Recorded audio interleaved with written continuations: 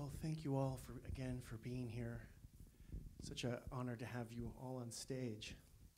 I wanted to start at the beginning, I guess, and, and ask Director Feng, y- you started out in, as an art director in a military art troupe like this. I was curious uh, if you had had intentions or plans to make this part of your life a film at some point, or if it was uh, Galing's novel that sparked the awareness or the interest in making this film or telling this portion of your life on screen.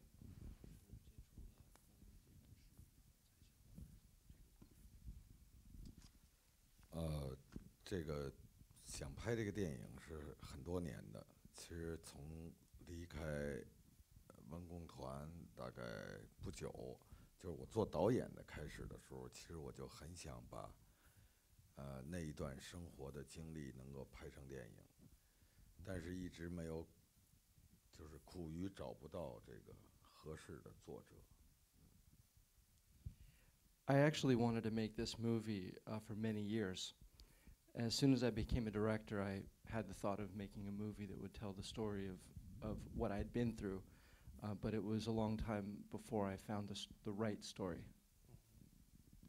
然后就是在三四年前，这个碰到格林，因为格林和我有相同的这个，就是我们处在这个芳华这个时候的经历，因为他原来是文工团跳舞的，他在成为作家之前，他是一个舞蹈演员，也是在部队，所以。我们俩见面聊起来，我想拍这么一部电影的时候，这个格林也说他也很有兴趣去写这样一个电影，啊，但是他说这个可能要等一下他，因为他手里还有两个别的剧本要写，所以就等了格林两两年吧。然后他说他要先写一本小说。如果喜欢这个小说的话，他就愿意自己把这个小说改成电影。 So about three or four years ago, I, I bumped into Yan Geling, and we both had this shared experience. We'd both been through s- that time together. She was a dancer uh, in the troupe back back at that same time, so we began to talk about it. And she said that uh, she would like to write a script for me, but that I would have to wait. She had two other scripts to write first. And then, so I waited, uh, but she said she would first have to write the book. So she wrote the book, uh, and then and then she wrote the script. Um, turning to Geling, I wanted to, that's curious. I want to talk a little bit about the process of adaptation. But when you, after you had this discussion, this conversation, did you, so you wanted, you felt it should be a novel first and then you would adapt that to the script? Or, and why did you feel this story needed to be told novelistically first and then adapted to the screen?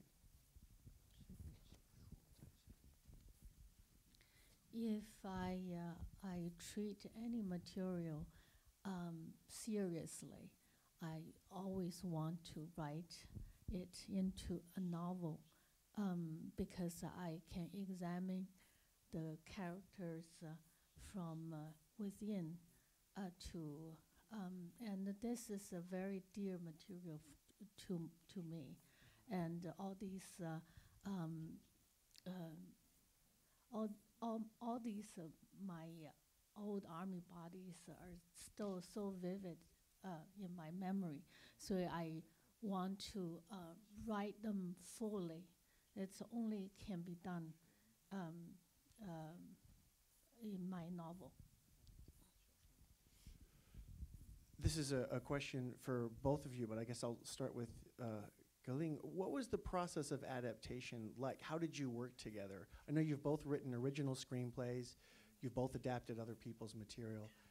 What was the adaptation process like, and how much involved was Director Feng in the adaptation process, or how much did you need to leave him out of it until you finished what you did? What was your process of working together in this, as the screenplay came together?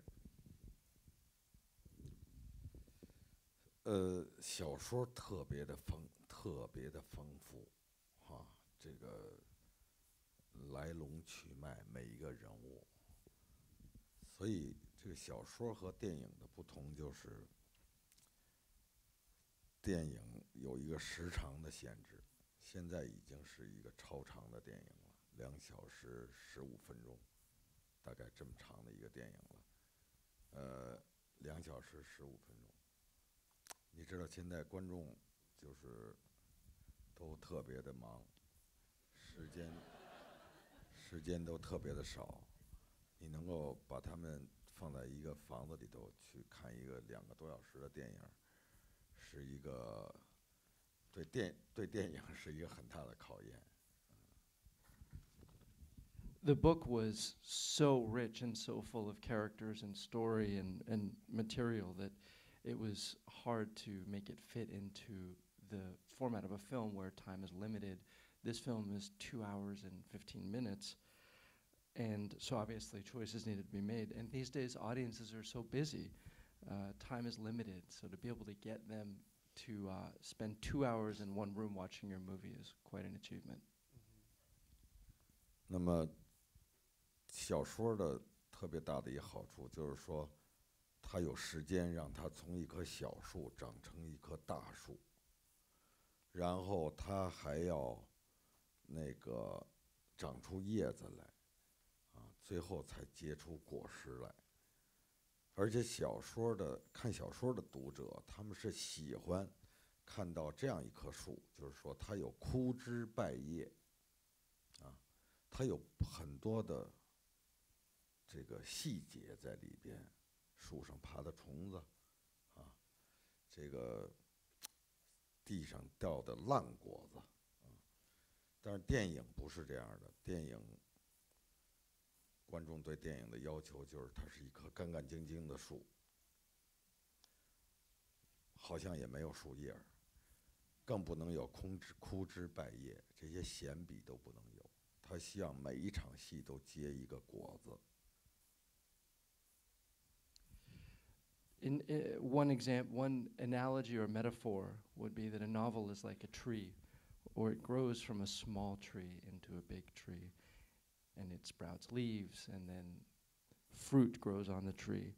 And the experience of reading a book can be like seeing it in such detail that you even see the, the barren limbs of the tree with no leaves on it, or the bugs on the bark of the tree, or the fruit that is lying rotten on the ground. But with a film, it needs to be just one clean tree. You don't even have time for the leaves, uh, much less the fruit. But you also have to deliver the fruit. 所以歌林的工作特别重要的，就是他怎么把那么长的一个小说变成一个两个多小时的剧本。啊，然后我的工作就是在他这个剧本的基础上继续的再瘦身，再往下减。我我不会加新的东西，我就是想办法怎么把它变得更短。So Geling would take the, you know, just made it shorter and, and wrote a script and had to get rid of so much. And then talk about the adaptation process, uh, the director would need to make her cut even more and more. And uh, how was that process for you, that paring back? You just mentioned how important and special this time was for you personally and how important these characters were to you. How did you come to make those cuts in the, in, in to, to shape it into the screenplay? When you're adapting your own work, I must I imagine it must be something of a challenge to constantly have to cut away and cut away as we've been talking about. So what was your what was your approach in the in the adaptation process? Well, um, um, I, I actually I'm clueless. You know, it's just that um, uh, anything that uh, uh, can be told uh, by words, by lines, I will not, you know, um, to describe it, how it looks. You know, once the, the the looks, the images can tell the the meaning, the story. I will not use the lines. So and all these uh, uh, over uh, voiceover is uh, um, uh, actually just uh, something that is not really uh, uh, um, uh, parallel uh, with the story. So I think that um, it, I don't know. I just have instinct. I just have uh, feelings. I, uh, you know, to talk about tech techniques, I don't know, and I just follow my uh, intuition. During the process, did you and uh, Director Feng have any disagreements about, or maybe just uh, difference of opinions about what memories to include or what stories to tell from his troupe versus your troupe, and how maybe you experienced those two, that moment in time, and, and, and that experience differently? Are there any of his memories in the film that you decided to include, or are there any of your memories that he, you know? Yeah, yeah. Um, before we um, uh, started to adapt this uh, uh, script from the novel, and director also contributed some of his experiences. So I tried to combine, um, and because you know, uh, male, you know, uh, men's uh, point of view or their memories sometimes are very different from uh, from women. yeah. So yeah. So um, I think it's if if you want to have later on the the, the male uh, audience, you better just uh, respect the what what the uh, man remembers. 这个歌苓小说，它是紧扣着那两个主要人物，啊，何小平和刘峰在讲这个故事。然后我拍这个文工团的这个故事时候，其实最早的一个初心，其实于是源于某一个形象的记忆，一个细节。Uh, the two main characters, Xiaoping and Liu Feng, were the central characters that were really part of Ge Ling's memory.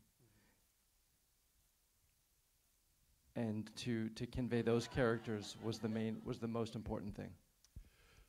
呃，就是我对那些文工团的女孩的那种集体的那样的一种印象，我觉得那是特别美的。就是在夏天，她们去穿着军装，但是因为她们去洗澡回来，她们就空空堂的，光着脖子，穿着这个军装，头发是湿的，然后他们走过来的时候，端着那个脸盆，我觉得整个操场都香了。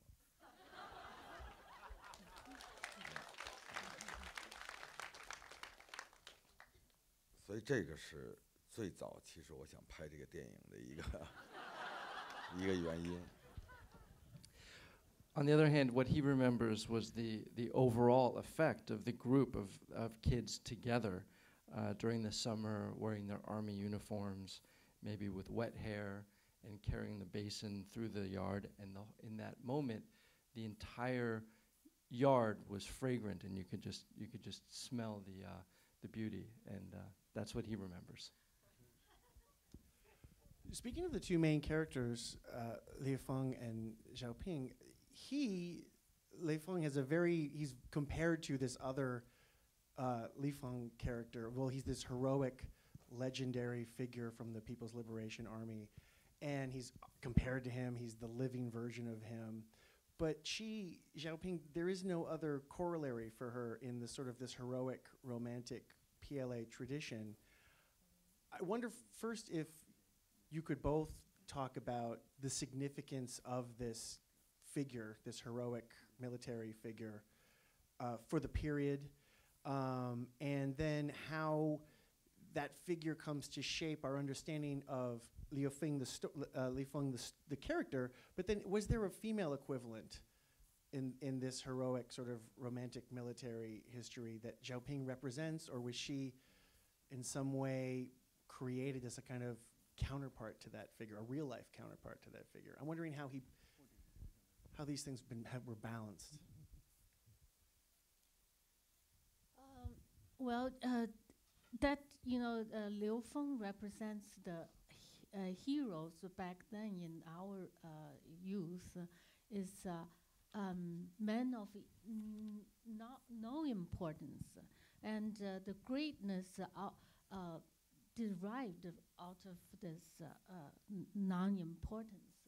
So uh, it's a um, um, it, it he he would uh, you know th- so this this is uh, what we really uh, uh, i- i- w- in the army there's no war and uh, oh, actually Liu Feng was like an errand boy for all these uh, uh, girls and uh, anything any emergency he has to take care of. He has no uh, real um, you know just uh, something like uh, uh, uh, a star um, on the stage.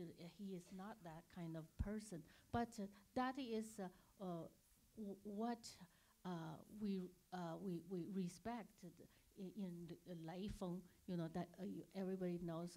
And if only He Xiaoping, this person was always uh, um, mistreated and bullied, and he, she uh, re- uh, discovered that uh, the that uh, thing that uh, he ma- he was made of uh, um, a, a errand boy actually is uh, something goodness. You can call it goodness, and he re- realized this. uh, you know, this is uh, something uh, she can love. Not every uh, girl can love. They don't uh, really appreciate this. They can. Uh, all these girls will uh, make him uh, uh, some kind of model, but not a boyfriend. They don't give the, their love. Who, uh, uh, who grew up um, uh, uh, deprived of this this kindness, this goodness. So she fell in love with, with this kindness. Th- That's what I felt was interesting about this, the f- this heroic figure and how he's re- referenced in the film, because so many of the, the members of the troupe refer to Liu Feng as being the living embodiment in a kind of an ironic or mocking way. And, and she was the one who sort of recognized a sincere sort of connection to him.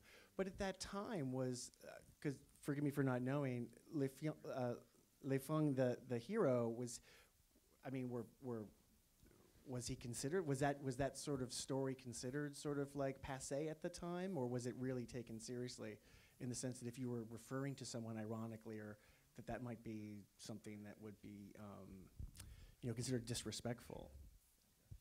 Um, people uh, uh, uh, sincerely think he, you know, in a, uh, uh, peacetime, in uh, this kind of uh, person, you know, uh, who is, uh, you know, w- we always call Lei Feng, right? Uh, Lei Feng, and uh, this kind of quality is uh, heroic, heroic, um, because he's uh, so selfless, uh, so. Uh, uh, um, you know, s- w- w- everything he does with great or small self-sacrifice. So this is, uh, you know, uh, what we, uh, when we grew up, uh, knowing to respect. Uh, um, but you know, then when he he was uh, put on the pedestal uh, by all these people, but when he walked up, uh, walked down and is tell somebody and or hold somebody, people will think it's creepy. Yeah.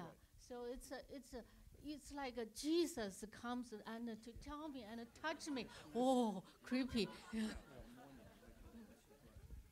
well that sort of segues to another question i had um, director feng you built your career you started your career making um, sort of i guess well romantic comedies but also very sharply observed social commentary you know comedies sort of satires of uh, gentle satires of contemporary chinese life and recently you've turned to historical subjects period pieces um, to explore other themes that also sort of comment on contemporary Chinese life.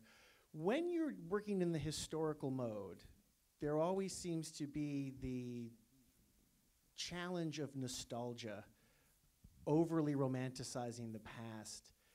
And that it seems to be something that you very carefully balance in the film.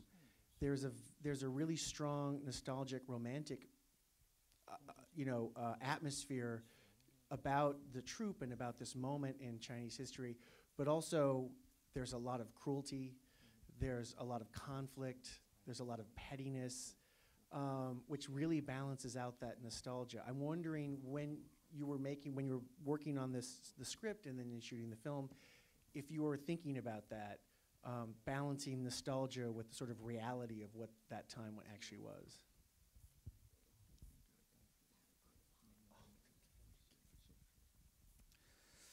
我觉得我们的青春是那个时候可能是呃非常的粗糙生活啊，非常的简陋，非常的艰苦。但是 每个人想起自己的青春的时候，其实都没有什么可以说是好还是不好，就是我们经历过了，我们从那儿过来了，我们就非常的想起我们的青春的时候，都会很很激动。嗯 Our time as youths was quite rough and it was quite difficult. But when anyone thinks of their youth, they can't really think of it in terms of good or bad. But it, it's something that means a lot and makes you very feel passionately. 我们这一代人就是比我们在座的好多的年轻的朋友更幸运的是，我们经历了大时代的那种洗礼和变化。嗯、这个是特别宝贵的，我们觉得是。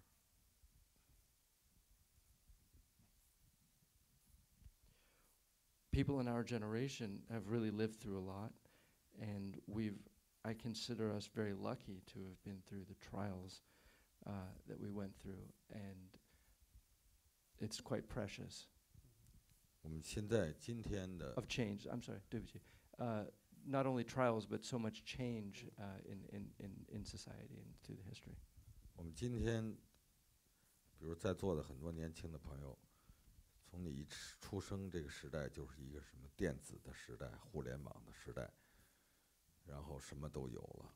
我们那个时候就是什么都没有，但是我们就那都是我们的经历，反而觉得我们的人生更丰富，更过得更有意义。就是我们经历过大的风浪，啊，就是现在的年轻的朋友，他们的那些苦恼，在那些风浪里头都不值得一提。 Kids these days, on the other hand, they uh, have the have experienced a lot of change uh, through electronics and through the internet. Um, they have everything. We had nothing. Uh, so we've been through a lot, And you guys haven't. 其实这个我这几部电影，最近这几年的电影，它有一个共同的主题，就是关于抛弃。就是比如说这个《集结号》这个电影，它就是一个大部队把一个小部队抛弃了。然后《唐山大地震》这个电影，是一个母亲把一个女儿抛弃了。呃，《温故一九四二》这个电影是政府把灾民抛弃了，不管了。这个电影是一个集体把这个文工团这个集体把刘峰和何小平抛弃了。嗯，这是一个。这次我们总结下来，不知道为什么就都是抛了拍了一些和抛弃有关系的。嗯。 So you might notice that there's a theme of abandonment in my films, whether it's uh, in the assembly, uh, the big army uh, abandons a small platoon, Or in Aftershock, it's a mother abandoning her daughter after the earthquake. Or in 1942, the government of uh, Henan province abandoning the people during the famine. This movie is about the group, the troupe, abandoning He Xiaoping. I don't know why, I just keep writing about this theme of abandonment.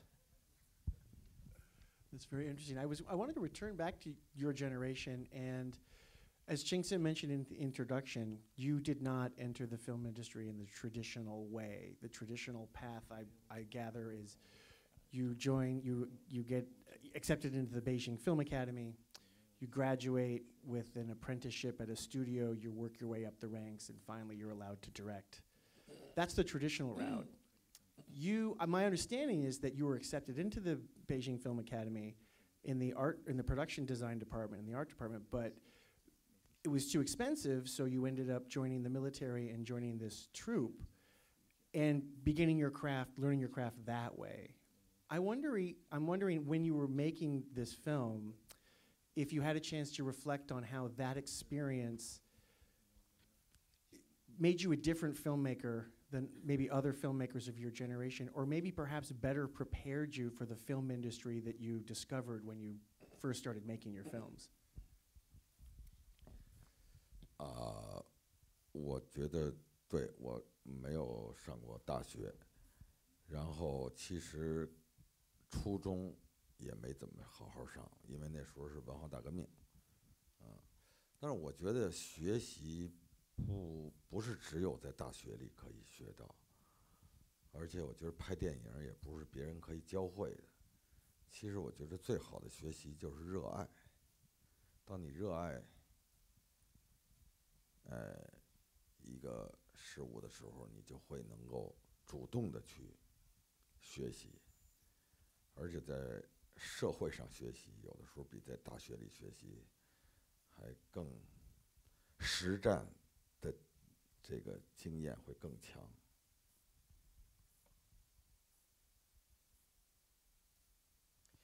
It's true. I, I didn't go to college, and I also wasn't a good student in high school, um, partially because of the Cultural Revolution. It was during that time. But I don't think you need to learn these things in school, how to make a film. It's really passion uh, that helps you learn how to make a film. Um, and in the world, learning in the world, uh, rather than learning in school, and real practice and doing the real thing. 而且我觉得学习拍电影的技术，我们拍电影的目的不是为了表现这个技术，拍电影的目的其实还是讲人的故事。 所以我觉得这是和这是和你的这个思想和你的这个灵魂有关系的事儿啊，所有技术层面上的事儿，我觉得那个都是好解决的啊。我指的不能教会你拍电影，是不是说不是说电影学院不能把你从一个不会拍电影的人教会你拍电影，而是说没有人可以把你教你拍一个好的电影。有思想的电影，那个没有人能教你，那只能靠你自己。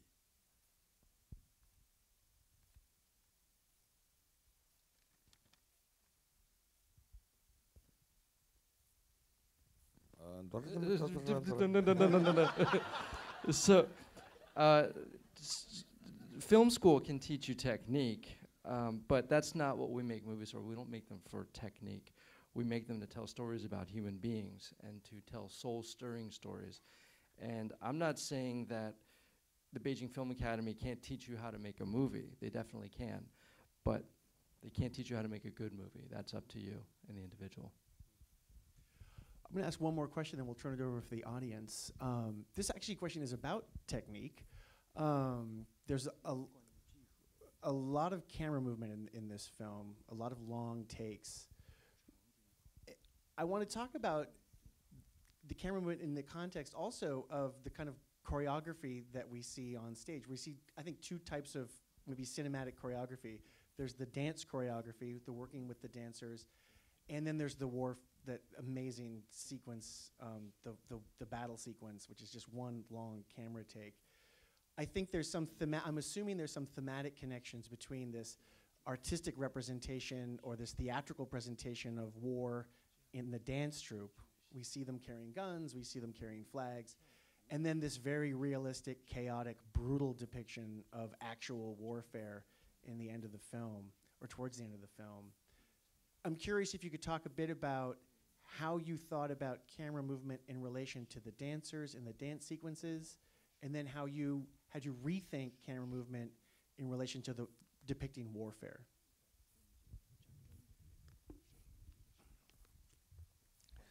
为呃，这个电影确实是很多的长镜头。昨天电影学院的学生听过的，你们现在可以走了，不听了哈。那个 Film students can leave now. oh, the ones who were there yesterday at the uh, master class. 那个， 因为为什么用这些长镜头来拍这部电影，是因为我回忆起我在文工团的那个时代，我回忆起那些女孩子们的时候，我觉得她是我的记忆中的影像，她们的一张一张的脸，她们的形体，都是在那种阳光底下像如水一样的流淌的，是那样的一种感觉。所以我觉得它应该是一个镜头特别自由的、舒缓的，没有剪接去打断的这样的一个一个情绪。 There are many long takes. It's true in this movie. When I think back uh, of my time in the in the art troupe in the in the in the dance troupe, uh, I just think of all those girls and their and their beautiful faces and their beautiful bodies, and it really would be hard to take one image because it was it was almost like a river of beautiful images. 那战争的部分其实应该是靠剪接，嗯，那个可能在一秒钟之内，可能就剪了五个镜头啊，这个可能十分钟的战争的场面，可能需要啊 五六百个镜头，甚至更多的镜头来堆积起来，因为剪接可以使这个战争的制作变得。呃，可能性更多，变得更残酷，节奏是所有的东西都好控制。但是它如果我那样去拍战争的话，它又和整个我这个电影的叙事这个镜头就不是在一个语法上，血型就不对了，所以我就需要拍战争的时候也是要长镜头的。这个当然就带来了特别大的难度。 So you're right. Uh, there, there's definitely connection. Uh, the war scene, uh, I could have used editing and, uh, you know, i- five different scenes uh, over 10 minutes.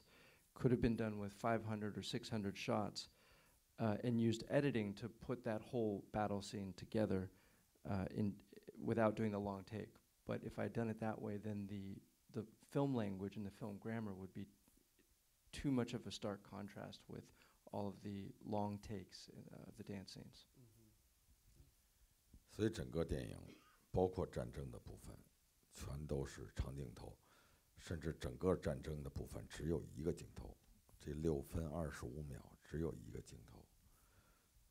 我整个这部电影里很多场戏都是就是一个镜头，所以那个我们的剪接一直在问我说我需要做什么，他就需要把一场一场的都给连起来就行。 So it's true. There's there's a lot of long takes. Every single scene is one long take. One of them is even six minutes and 25 seconds. So it was so it got to the point where my editor asked me, "What is it that you want me to do here?" All right, we have time for some questions from the audience. So I'm gonna, we have some microphones on either side. So when I call on you, wait for the microphone to come. Let's go right here first. Right here. There's a microphone coming over here.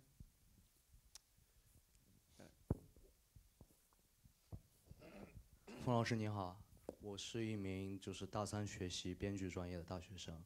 啊、刚才您您也讲过，就是拍摄电影的方法以及技巧，只是电影学院可以教给您的，但电影的本质是讲人的故事。 我本人也非常赞同这一点。我觉得现在我们看到的很多电影，包括我看过很多您的片子，我们欣赏一个演员的表演的时候，已经是通过了可能是技术很好的摄像，以及可能很 fancy 的这种剪辑之后才欣赏到的。所以我从来没有机会目睹过，就是在片场这些演员表演的时候的张力。所以我就想问一下，您可可不可以就是分享一下，在您非常长、非常成功的这个导演生涯中，哪一次的一个场景，某个演员的表演，就是深深的可以扎到您的心里？可以分享一下这样的经历吗？谢谢。我的问题是这样。我我先翻译问题。Uh, I'm a third year writing student. Uh, thank you, Director Fung. I, I totally agree with what you said. That technique can be taught, but uh, character cannot. 这个问题很难翻译。怎么翻呢？这个问题关于表演吧，可以用英文吗？问一下。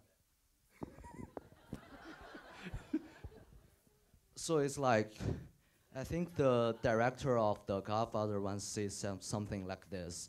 Making film, the most important thing is uh, like bu- the script writing and also like the character acting. So like during your really, really long, really successful career, could you just like share any experience, like what kind of like acting some character have in, on your set really have moved you? Could you like share that experience with us? 每部电影我都遇到有演员给我贡献了特别好的表演。 Every single actor in every single one of my movies has given that impression on me. This is actually a very young cast, obviously, and, and a lot of new actors. I mean, very young in their careers too. What was your experience, sort of directing the sort of non-star, very you know young cast in terms of their experience? Because their performances are all very amazing, particularly even as they're older characters. I thought. 呃，首先我觉得我们其实每个导演都有义务，呃，培养更多新的演员出来。呃，这个故事它不太适合明星来演，它就适合这些新鲜的这些面孔，呃，来出现。然后这些新人其实就是你要给他足够的时间，让他能够进入到这个情境里边去。我们是提前了四个月的时间，最长的有五个月的，短的是三个月的，我们就把他们集中在一起训练、排练舞蹈、排练乐队。在影片开始的时候，他们已经都相信大家是文工团这个一个集体的，都非常熟悉了。I believe that every director has an obligation to cultivate uh, new talent, but this movie really doesn't suit using movie stars. It, it really is just obviously calling out uh, for using new actors. Uh, we shot for a long time, two to three months. Uh, 两三个月是排练还是整个的拍摄？就包括拍摄。呃，排练， So only just the the act of, of, of rehearsing and preparing it was two to three months. So by the time they shot the movie, uh, the whole troupe was already quite feeling like they were the characters and, and, and had that sense of familiarity with each other. Question in the back here. Let's run the mic up to the back. Hi, Director Feng Xiaogang and Ms. Yan Geling. I really enjoyed your movie. I think you are both heroes of our times for making a film about the Cultural Revolution. And as you all know, the um, censorship in China is actually tightening since 19th, you know, CPP CC meeting. But how come the censorship doesn't exist for you? Since last year you made I'm Not Madame Bovary, and this year you made a movie that's actually pretty critical of the Cultural Revolution. 我可以来解释这个中文的问题。呃，我的问题就是为什么？就是首先，我认为您二位是我们这个时代的英雄。您的这部作品讲了一个其实是比较敏感的这么一个呃时期，就是文化大革命。那么我们都知道，在中国召开十九大的这个期间，其实这个审查制度是越来越越严的。但为什么对您来说，这个审查制度好像并不存在？然后您是如何完成这部电影的制作，得到比如说军方的支持，甚至让它能在主流的院线上映的？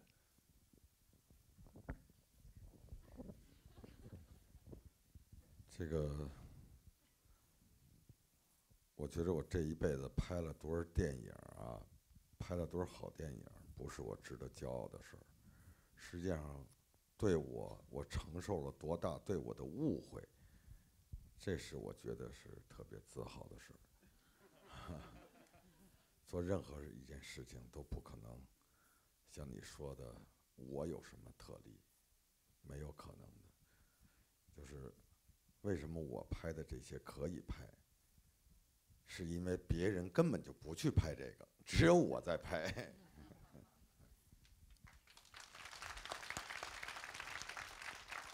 It's it's really not a question of how many good movies I make in my life, um, but how many uh, misperceptions and misconceptions that I can correct. It's not a special privilege that I have to make this movie. It's just that no one else has made these movies. Okay, let's go um, in the back here. Woman in the back on the far side. Actually, the woman on the the uh, towards the aisle. Yeah, right there.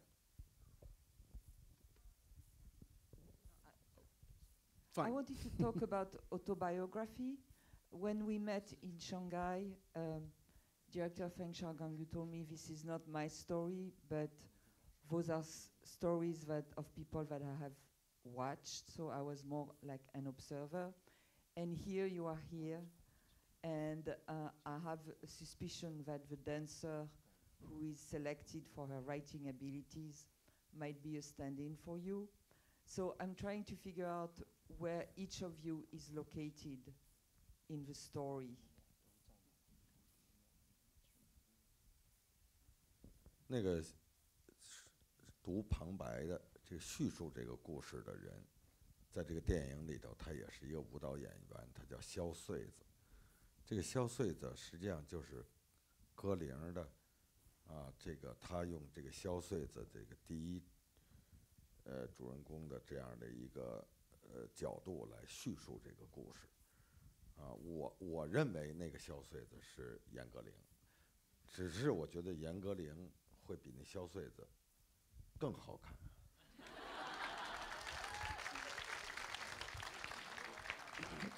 The narrator of the film uh, is a dancer, and her name is Xiao Suizi, and she is the character that Geling has chosen to be the first person uh, of the story and I believe that is Geling.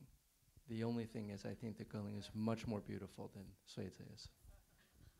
Uh, these are all fict- uh, fictitious. Uh, uh, it, it's a fiction.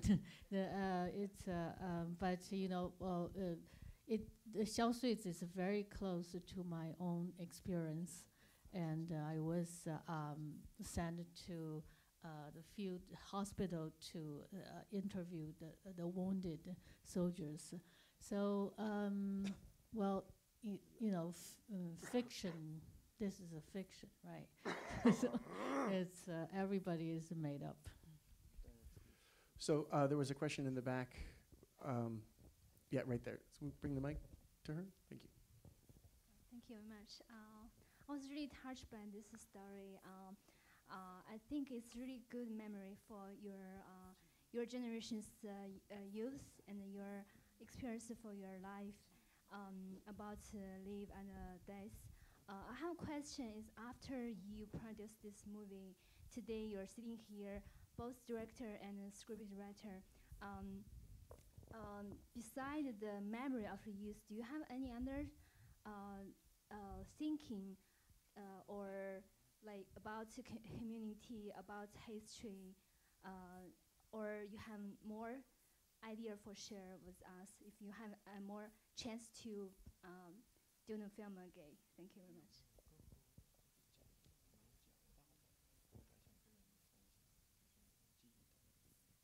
嗯，呃，我觉得这个电影非常感动。我在看的整个过程当中，一直都在控制我的眼泪。嗯， 那哦、我可以感感受到这个故事就是是一个非常非常好的一个作品，去纪念呃，就您的那一代人的呃呃非常呃 fantastic 的这个生命的历程。那呃，我的问题是，除了就是在这个电影已经放在大屏幕以后，今天除了呃是一种纪念以外，呃，那您有没有更多的，就是除了这种 memory，除了敬业本身以外，还有更多的体验有没有？或者说有跟观众分享，或者说如果还有呃第二次去重新制作电影的话，还有没有想改进的地方？谢谢。呃，第一个，这个就是这个电影要你能够感觉到的是什么，就都在这儿了。你感觉不到的，我背后有要说什么的。如果你感觉不到的话，它存在是没有意义的。那个背后，还有一个就是，任何一个电影都不可能再重新拍一遍。所以这个，当然我特别感谢啊，My movie touch your heart。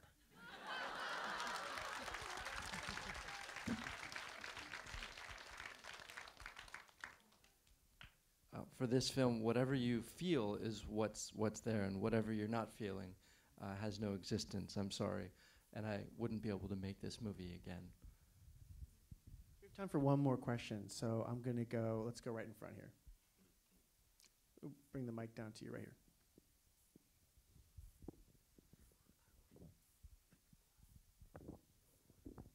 那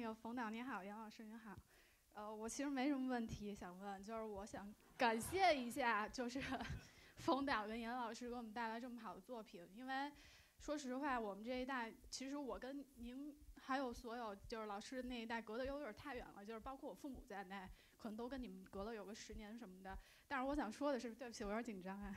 但是我想说的是，就是这是我看过最性感的一个军中的片子，因为对于我们这一代，就是。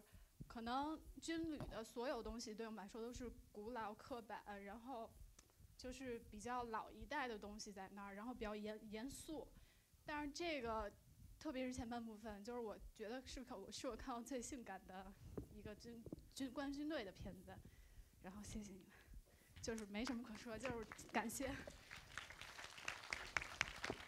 This was more of a statement than a question. Of all the army films I've seen, this is the most sensual uh, of all military films I've seen. There's serious elements in it, but it's very, very sensuous.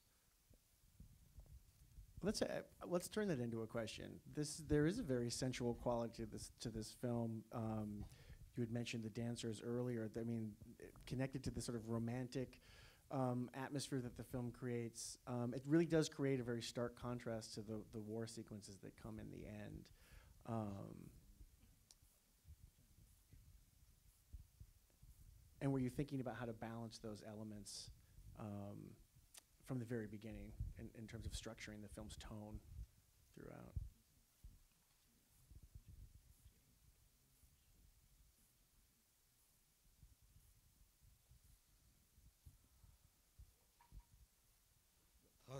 其实就是美和残酷啊，它它就是这样的一个对比。 这个这个这我还真不知道怎么平衡的哈。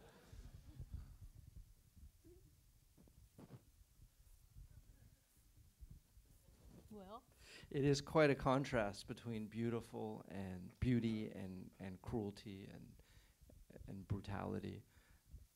I don't know how you balance it. I don't know how I balanced it.